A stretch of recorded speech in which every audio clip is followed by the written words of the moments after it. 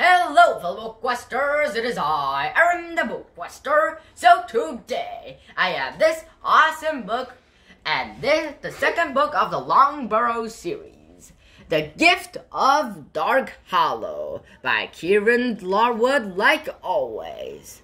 Well, let's get get right up from the point where Podkin One Ear, the first of the first book of the series, had ended.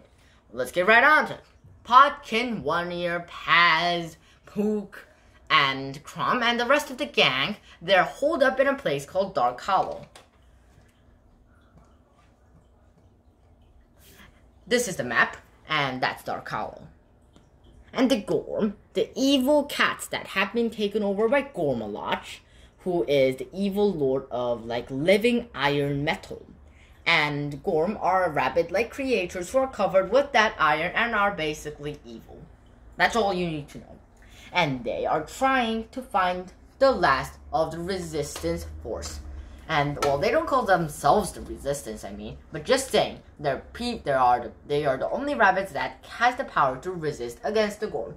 For two gifts uh, is located in Dark Hollow: the sickle and the, and the dagger, Starclaw, and the sickle of Bridget.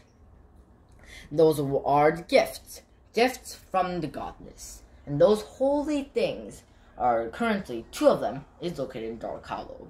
And later on, Podkin One Ear, who has a taste of adventure, decides to follow Starclaw, his magic dagger that had been vibrating for a long time and had been leading him to a tomb underneath underneath Dark Hollow. There he finds well a brooch, one of the gifts, the gift of Dark Hollow itself. And he later finds out that the gift, when when where when the wearer has the gift on and the moon is shining high in the sky, he can move through the shadows. That was the gift of Dark Hollow, one of the best and most useful gifts that Podkin had encountered yet. And while, you know, experimenting with this new toy, he finds out that the two rabbits knew how to make weapons that could kill Gorm. Upon and he tells Crom about this, and those two rabbits are well dragged up up to Crom. Crom says, "Well, well, tell us the story." And they say that in Applecross. That's Dark Hollow. That's Applecross. At Applecross, there was the hammer. The hammer Surestrike. That hammer, every time it made a new weapon, pounded the pounded the copper or whatever metal they were using into a new weapon. Every time it did that, it grew a little bit smaller, giving a part of itself to that weapon. And using Surestrike, they found out that they could create weapons that could kill Gorm. Gorm killer weapons, they called them. And the Gorm killers, they were very useful, very powerful weapons. And they had made five Gorm killer arrow shafts. And using those arrows, the chief of Applecross had shot five Gorm dead. And all those Gorm had been shot dead, and they knew now that their only hope was to find Surestrike. Their only hope to fight back was to find the great Surestrike. So they, the Podkin, Crom, Mash, I think, and Pook and Paz, and a traveling bard named, well, named Yarrow, and Zarza, a bone dancer who moves like a cloud and fights like a demon, they go to Applecross.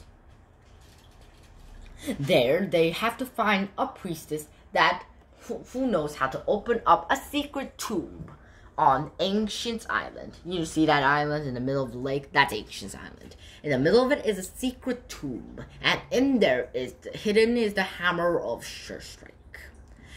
And so they journey to Applecross. They sneak in using a secret passage that was described to them by a fellow friend from Applecross.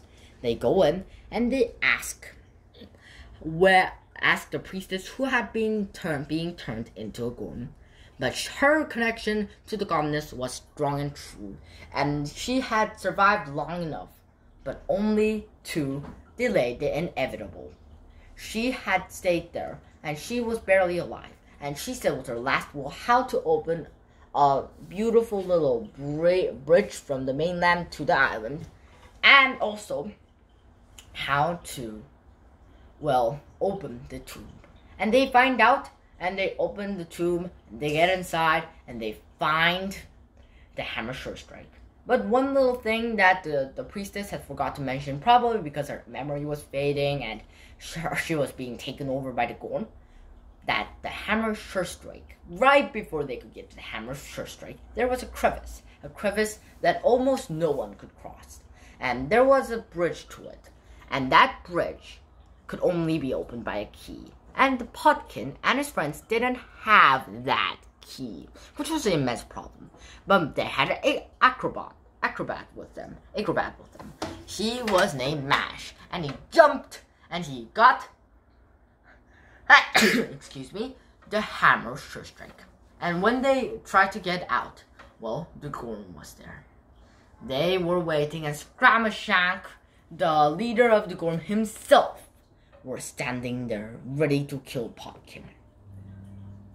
And then Podkin thought, wait, I have the bracelet, I have the brooch, the brooch that can make me travel through the shadows.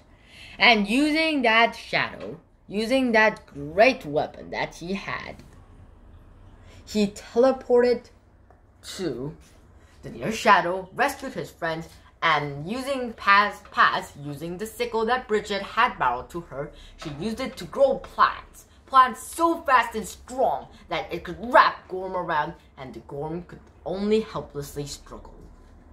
Then Podkin and the rest of the gang they escaped using the using the secret bridge, and then Podkin using the dagger Starclaw cut the bridge device to make the Gorm trapped on the Ancient's Island.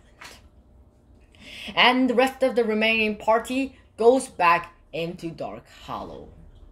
And now they have hope. Hope that they could fight the Gorm. Hope that they could finally fight back. And that's the end of the story, guys. And there's a number three Podkin One Ear, so I'll get to that soon. Great book, guys. A must read. And, well, why you must read it? That's because you're missing out if you aren't. And like always, your bookquester, Aaron the Bookquester.